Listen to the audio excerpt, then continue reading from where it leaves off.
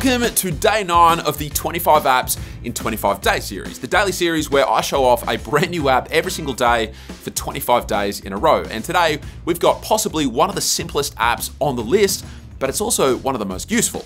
If you missed any of the previous episodes, I've linked a playlist down below where you can catch up. And as always, just a reminder that this video and this series does not have any sponsors, but it is supported by those of you who download and use any of my apps, as well as those who purchase any of the digital products that I sell on my website, all of which will of course be linked below. And I do want to quickly highlight the companion app to this series, my app shelf, which is a library of handpicked app recommendations from yours truly. We literally add brand new app recommendations every single day, so it's definitely worth checking out. But with that being said, let's take a look at day nine's application. All right, the app we're talking about today is called Network Switch. And as I said, it genuinely is one of the simplest apps in this entire series in terms of the functionality that it offers, in that it allows you to simply switch between network mode configurations just with the press of a button. So let's say you're out and about and you want to save a bit of battery, then you can use the app to switch to a 4G only mode because while 5G can offer you faster internet speeds, it is also a known battery drainer. Now, this app is also not available to download on the Google Play Store, so you will need to grab it via the GitHub link below. And even though the functionality is simple, the setup process isn't that straightforward because it does require permissions to be granted via Shizuku for it to work. And unfortunately, because this app is literally for when you're not connected to Wi Fi, you'll actually need to set up Shizuku via ADB using a computer, not wireless debugging. Otherwise, this won't work. But fret not, I'm actually going to show you how to do exactly that in this video. The first thing that you need to do is download some files on your computer, which will enable your device to interact with your computer using command line prompts.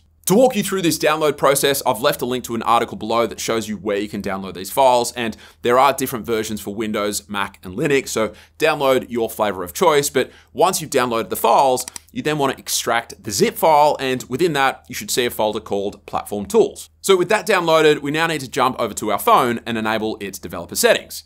We can do this by coming into our phone settings, then scrolling down to the About Phone section, and the location might vary for you here, but we're looking for an option that says Build Number, which for me can be found under this Nothing OS section here.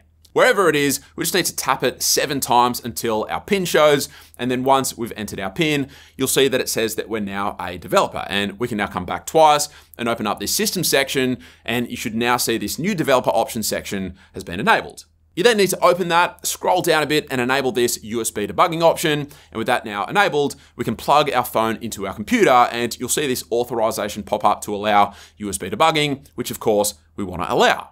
Now we want to head back onto our computer, and I'm obviously using a Mac here, but it is a very similar process when using a Windows machine, but we basically want to open the platform tools folder using a command prompt app. So here on my Mac, I'll do it using the terminal app. The first thing I'll do is type CD, then space, then I'm just gonna drag and drop that platform tools folder in like so, then hit enter.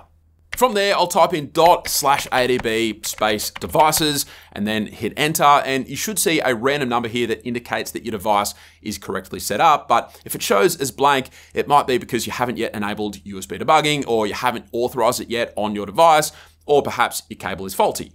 But once we've verified that our device is plugged in, we're now going to simply paste a code provided by Shizuku, which I'll also place in the description, then hit enter. And with that done, Shizuku should now be up and running and you can remove your cable. But if you're not sure whether it's worked or not, just check up in this top section. And if it says that it's running, then you're good to go. Now that that's finally set up, as long as you have the Network Switch app installed, you just need to come into this authorized application section within the Shizuku app and toggle the Network Switch option to on. With that done, you can now open up the Network Switch app and you should immediately see this tick icon up here indicating that the app is working. Now, by default, the app is set up to switch between 4G and 5G, but if you live in an area where one of those two, or potentially neither of those, are great options, then you can tap this configuration toggle up here, and that'll take you to this page where you can tweak your two preferred network modes. So I can tap here and change this to 2G or 3G, for example, but I'm actually gonna select this 4G slash 5G mode so that my phone can still cycle between the two automatically. And then I'm gonna change mode B to 4G only. And this is actually probably a better configuration than the default for most people, because if I'm not in an area with great 5G coverage and I've forgotten that my phone is set to 5G only, I might have issues. But once you've set your configuration, you just tap Save Configuration. Then we can swipe into our Quick Settings panel, then tap the Edit icon. Then I'm just gonna scroll all the way down until I found this network switch option. And once I found it, I'll tap to add it to my Quick Settings panel. Then I'm just gonna tap to make it bigger, then I'll tap back to save it. And now whenever I wanna switch between my two network modes, I can just tap this toggle and boom, there we go.